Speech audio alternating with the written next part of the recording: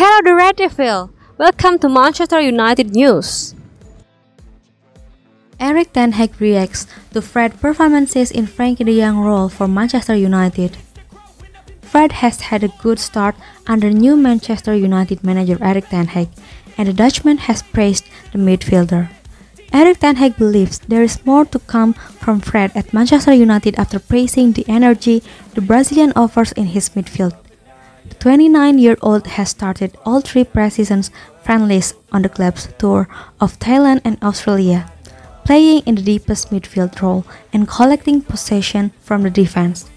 Ten Hag described Fred as playing in midfield as a connector, a similar term he has used to describe Frenkie de Jong, with United still keen to sign the 25-year-old from Barcelona but Ten Hag has suggested he could look to mold someone from his squad to fill that role if a deal for de Jong cannot be completed and he's been pleased with Fred's performances so far.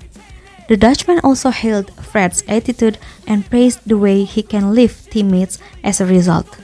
In the moment he is playing in the role as connector, defending to Evans, he is playing the role quite well. I am satisfied with his performance, with his improvement, said Ten Hag. I think he can even be better.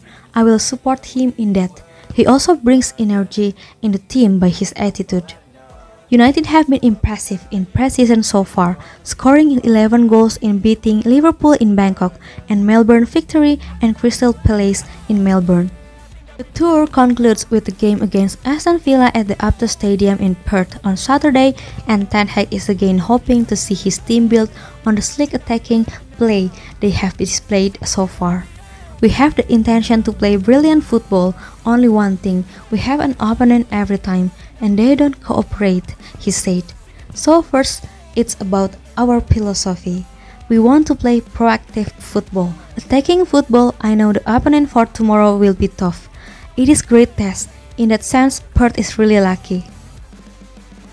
Thank you for watching. Don't forget to subscribe, like and comment. And don't forget to turn on the notification.